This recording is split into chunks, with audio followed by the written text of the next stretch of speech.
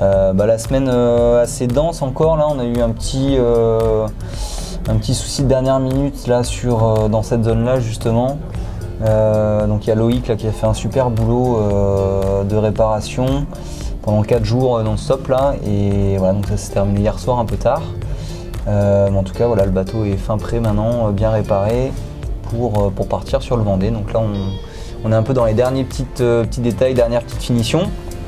Euh, on va nettoyer toute la zone de vie euh, tout à l'heure là, pour que demain euh, bah, Thomas puisse vraiment s'approprier le bateau, mettre toutes, ses, affaires pour se sentir bah, comme chez lui pour le départ dimanche. J'en profite pour juste rechecker tous les sacs avant le départ, voir s'il manque quelque chose et puis vérifier le sac de frais, comment il est organisé pour rajouter les derniers éléments.